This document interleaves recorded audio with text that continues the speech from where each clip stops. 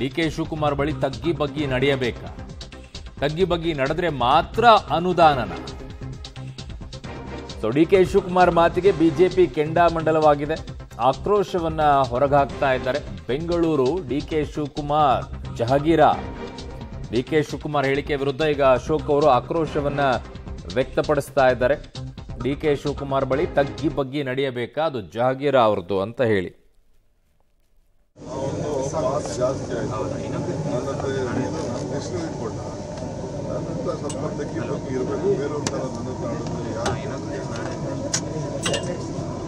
ಈ ನನ್ನ ಹಾಸ್ಪಿಟಲ್ನಾಗ ಕಿತ್ತಾಕ್ಬಿಟ್ಟು ಇನ್ನೂ ನನ್ನ ಹಾಸ್ಪಿಟಲ್ ಮಾಡ್ಬೇಕಾಗ ಸ್ವಲ್ಪ ನೋಡಿದ್ರೆ ನಾನು ಬಂದ್ಮೇಲೆ ಬೆಂಗಳೂರು ಅಧೋಗತಿ ಆಗೋಯ್ತು ಅಂತ ಸ್ಟೇಟ್ಮೆಂಟ್ ಮಾಡಿದ್ದ ಆ ಒಂದು ಮಾತು ಜಾಸ್ತಿ ಆಯಿತು. ನನ್ನ ಹತ್ರ ನಾನು ಡಿಸ್ಟ್ರಿಲ್ ಇಟ್ಕೊಂಡ ಬಗ್ಗೆ ಇರಬೇಕು ಥರ ನನ್ನ ತಾಳದಲ್ಲಿ ಯಾರು ನನ್ನ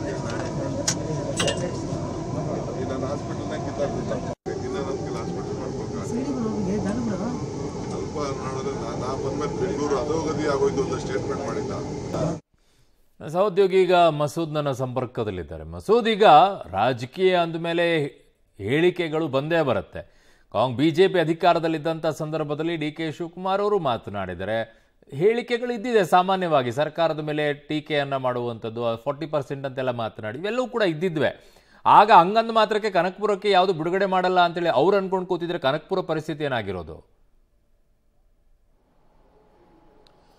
ಬಿ ಜೆ ಪಿಯವರು ಏನು ಹೇಳ್ತಿದ್ದಾರೆ ಅಂದರೆ ನಮ್ಮ ಸರ್ಕಾರ ಇದ್ದಾಗ ಬಿ ಜೆ ಪಿ ಅವಧಿಯಲ್ಲಿ ನಮ್ಮ ಸರ್ಕಾರ ಇದ್ದಾಗ ನಾವು ಎಲ್ಲ ಕ್ಷೇತ್ರಗಳಿಗೂ ಕೂಡ ಅನುದಾನ ಕೊಟ್ಟಿದ್ದೀವಿ. ಕಾಂಗ್ರೆಸ್ ಶಾಸಕರಿಗೂ ಕೂಡ ಅನುದಾನ ಕೊಟ್ಟಿದ್ದೀವಿ. ಆವಾಗ ಜೆ ಡಿ ಎಸ್ ಮೈತ್ರಿ ಆಗಿರಲಿಲ್ಲ, ಜೆ ಡಿ ಎಸ್ ಶಾಸಕರಿಗೂ ಕೂಡ ಅನುದಾನವನ್ನು ಕೊಟ್ಟಿದ್ದೀವಿ. ಈಗ ಇವರು ದ್ವೇಷದ ರಾಜಕಾರಣ ಮಾಡ್ತಿದ್ದಾರೆ ಅನ್ನುವಂತಹ ಆರೋಪವನ್ನು ಬಿ ಜೆ ಪಿ ನಾಯಕರು ಮಾಡ್ತಾ ಇರುವಂಥದ್ದು. ಅವ್ರು ಏನು ದ್ವೇಷದ ರಾಜಕಾರಣ ಮಾಡ್ತಿದ್ದಾರೆ ಅಂತ ಹೇಳ್ತಾ ಇದ್ರು, ಅದಕ್ಕೆ ಪೂರಕವಾಗಿ, ಪುಷ್ಟಿಯಾಗಿ ಈಗ ಇತ್ತೀಚೆಗಷ್ಟೇ ಎಲ್ಲ ಕ್ಷೇತ್ರಗಳಿಗೂ ಕೂಡ ಇಪ್ಪತ್ತ ಎಂಟು ಕ್ಷೇತ್ರಗಳ ಪೈಕಿ ಬೆಂಗಳೂರಿನ ಇಪ್ಪತ್ತೇಳು ಕ್ಷೇತ್ರಗಳಿಗೆ ಹತ್ತತ್ತು ಕೋಟಿ ಆನೆಕಲ್ಗೆ ಐದು ಕೋಟಿ, ಒಟ್ಟು ನೂರ ಎಪ್ಪತ್ತು ಕೋಟಿಯನ್ನು ಬಿಡುಗಡೆ ಮಾಡಿದ್ದಾರೆ. ಆದರೆ ಜಯನಗರ ಕ್ಷೇತ್ರಕ್ಕೆ ಮಾತ್ರ ಹತ್ತು ಕೋಟಿ ಬಿಡುಗಡೆ ಮಾಡಿಲ್ಲ. ಡಿ ಕೆ ಶಿ ಅವರು ಏನು ಕ್ಲೈಮ್ ಮಾಡ್ಕೊತಾರೆ? ಈಗಾಗಲೇ ನಲ್ವತ್ತು ಕೋಟಿಯಷ್ಟು ಪ್ರಾಜೆಕ್ಟು ಜಯನಗರದಲ್ಲಿ ಮುಂದುವರಿತಾ ಇದೆ. ಈ ಹತ್ತು ಕೋಟಿ ನಾನು ಆಮೇಲೆ ಬಿಡುಗಡೆ ಮಾಡ್ತೇನೆ, ವರದಿ ಕೇಳಿದ್ದೇನೆ. ಆದರೆ ಜಯನಗರದ ಶಾಸಕರು ಏನೆಲ್ಲ ಹೇಳಿಕೆ ಕೊಟ್ಟಿದ್ದಾರೋ ಹೇಳಿಕೆ ಸರಿ ಇಲ್ಲ ಅನ್ನುವಂಥದ್ದು ಅವರ ವರ್ಷನ ಹೇಳ್ತಾ ಇದ್ದಾರೆ. ಈ ಮಧ್ಯೆ ಈ ರೀತಿಯ ಮಾತುಗಳು ಬಂದಿರೋ ಹಿನ್ನೆಲೆಯಲ್ಲಿ ಇದು ಜಟಾಪಟಿ, ಇನ್ನಷ್ಟು ತಾರಕಕ್ಕೇರುವ ಸಾಧ್ಯತೆ ದಟ್ಟವಾಗಿರುವಂಥದ್ದು. ಹಾಗಿದ್ರೆ ಯಾರೇ ನಿಮ್ಮ ಮುಂದೆ ಬಂದರೂ ಕೂಡ ತಗಿ ಬಗ್ಗಿ ಮಾತಾಡಬೇಕಾ? ಏನು ಇಡೀ ಬೆಂಗಳೂರು ನಿಮ್ಮ ಜಹಾಗೀರ, ನಿಮ್ಮ ಒಣ ಪ್ರತಿಷ್ಠೆಯನ್ನ ಬಿಡಿ ಅನ್ನುವಂತಹ ತಾಕೀತನ್ನು ಕೂಡ ಬಿಜೆಪಿ ನಾಯಕರು ಮಾಡ್ತಾ ಇರುವಂಥದ್ದು. ಆದರೆ ಡಿ ಕೆ ಶಿವಕುಮಾರ್ ಮಾತ್ರ ಅವರ, ಅವ್ರ ಮಾತನ್ನ ಅವರು ಮುಂದುವರಿಸ್ತಾ ಇರುವಂಥದ್ದು. ಈಗಲೂ ಕೂಡ ಅವರು ಅನುದಾನ ಕೊಡಬಾರ್ದು ಅನ್ನುವಂತಹ ಲೆಕ್ಕಾಚಾರದಲ್ಲಿ ಇದ್ದಾರೆ ಅನ್ನುವಂಥದ್ದು ಬಿಜೆಪಿ ಅವರ ಆರೋಪ. ಈಗಾಗಲೇ ವಿಪಕ್ಷ ನಾಯಕ ಆರೋಶಕ್ ಅವರು ಕೂಡ ಜಯನಗರ ಕ್ಷೇತ್ರಕ್ಕೆ ಯಾಕೆ ಅನುದಾನ ಬಿಡುಗಡೆ ಮಾಡಿಲ್ಲ, ಬಿಡುಗಡೆ ಮಾಡಿ ಅಂತ ಪತ್ರ ಕೂಡ ಬರೆದಿದ್ದಾರೆ. ಈಗ ನಿನ್ನೆಯ ಹೇಳಿಕೆ ಹಿನ್ನೆಲೆಯಲ್ಲಿ ಈಗ ಬಿಜೆಪಿ ನಾಯಕರು ಹೋರಾಟಕ್ಕೂ ಕೂಡ ಮುಂದಾಗುವ ಸಾಧ್ಯತೆ ದಟ್ಟವಾಗಿರುವಂಥದ್ದು. ಜಯನಗರದಲ್ಲಿ ಸಾರ್ವಜನಿಕರ ಜೊತೆಗೂಡಿ ಶಾಸಕ ಸಿ ಕೆ ರಾಮಮೂರ್ತಿ ಅವ್ರನ್ನ ಜೊತೆಗಿಟ್ಕೊಂಡು ಬಿಜೆಪಿ ನಾಯಕರು ಈಗ ಹೋರಾಟಕ್ಕೆ ಮುಂದಾಗುವ ಸಾಧ್ಯತೆ ಇದೆ. ಯಾಕೆಂದ್ರೆ ಈ ಥರದ ಮಾತುಗಳನ್ನು ಒಬ್ಬ ಉಪಮುಖ್ಯಮಂತ್ರಿ ಆಗಿ ಬೆಂಗಳೂರು ನಗರ ಅಭಿವೃದ್ಧಿ ಸಚಿವರಾಗಿ ಮಾತಾಡ್ತಾರೆ ಅಂದ್ರೆ ಇದು ಪಕ್ಕ ದ್ವೇಷದ ರಾಜಕಾರಣವೇ. ಹಾಗಾಗಿ ಅನುದಾನ ಕೊಡಿ ಅನ್ನುವಂತಹ ಆಗ್ರಹ ಇಟ್ಕೊಂಡು ಹೋರಾಟಕ್ಕೂ ಕೂಡ ಮುಂದಾಗುವ ಸಾಧ್ಯತೆ ಇದೆ. ಜೊತೆಗೆ ಡಿ ಕೆ ಶಿವಕುಮಾರ್ ಅವರು ಈ ಥರದ ಮಾತುಗಳನ್ನು ಆಡಬಾರ್ದು ಅನ್ನುವಂತಹ ಆಗ್ರಹವನ್ನು ಕೂಡ ಬಿಜೆಪಿ ನಾಯಕರು ಮಾಡ್ತಾ ಇದ್ದಾರೆ. ಒಟ್ಟಾರೆಯಾಗಿ ಇಡೀ ಪ್ರಕರಣ ಒಂದು ರೀತಿಯಲ್ಲಿ ಮತ್ತಷ್ಟು ಜಟಾಪಟಿ ಏರ್ತಾ ಇದೆ ಉಪ ಉಪಚುನಾವಣೆ ಸಂದರ್ಭದಲ್ಲಿ. ಉಪಚುನಾವಣೆ ಮುಗಿದ ನಂತರ ಬಿಜೆಪಿ ಬಹುಶಃ ಹೋರಾಟಕ್ಕೆ ಇಳಿಯುವ ಸಾಧ್ಯತೆ ಇದೆ. ಅರುಣ್. ಓಕೆ ಬಟ್ ಆದರೆ ಈ ಮುಖ್ಯಮಂತ್ರಿಗಳು ಕೂಡ ಈ ವಿಚಾರದಲ್ಲಿ ಏನು ಹೇಳ್ತಾ ಇಲ್ವೋ ಉಪಮುಖ್ಯಮಂತ್ರಿಗಳಿಗೆ? ಈ ರೀತಿ ಮಾಡೋದು ಸರಿಯಲ್ಲ ಅಂತ ಹೇಳಿ. ಆಮೇಲೆ ಕೆಲವು ಸಚಿವರುಗಳು ಮಾತ್ರ ಪುಂಖಾನುಪುಂಖವಾಗಿ ಸಂವಿಧಾನ ವಿಚಾರದಲ್ಲಿ ಮಾತನಾಡ್ಕೊಂಡು ಬರ್ತಾರೆ. ಯಾರಿಗೂ ಹಿಂಗೆ ಮಾಡಬಾರ್ದು, ತಾರತಮ್ಯ ಮಾಡೋದನ್ನು ಹೇಳ್ಕೊಡ್ಬಾರ್ದು, ತಾರತಮ್ಯ ಆಗಬಾರ್ದು, ಸಂವಿಧಾನ ನಮಗೆಲ್ಲರನ್ನು ಸಮಾನರಾಗಿ ನೋಡ್ತೀವಿ ಅಂತ ಇದೇ ಸರ್ಕಾರ ಹೇಳ್ತಾ ಇತ್ತು. ಸಮಾನವಾಗಿ ನೋಡೋದೇ ನಮ್ಮ ಕರ್ತವ್ಯ. ಹಾಗಾಗಿ ನಾವು ಈ ಸರ್ಕಾರದಲ್ಲಿ ಇದ್ದೀವಿ ಅಂತ ಹೇಳಿ. ಇದು ಸಮಾನತೆಯಿಂದ ನೋಡುವಂಥದ್ದಾ?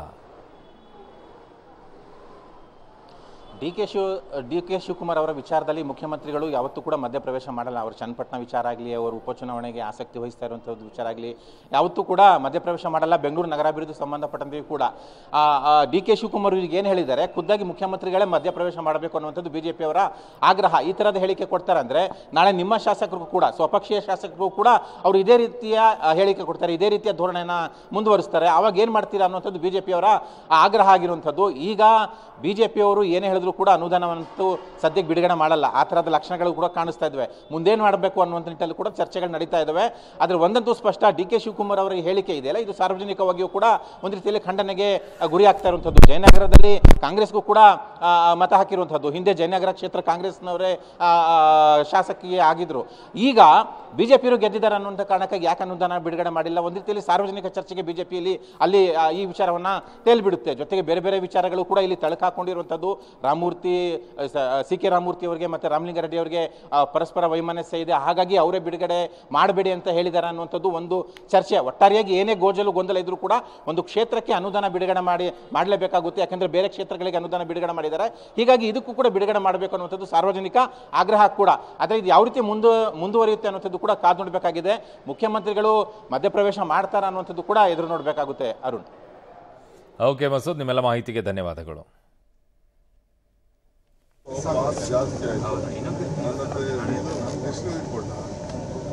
ಸ್ವಲ್ಪ ಇರಬೇಕು ಬೇರೆಯವ್ರ ಥರ ನನ್ನ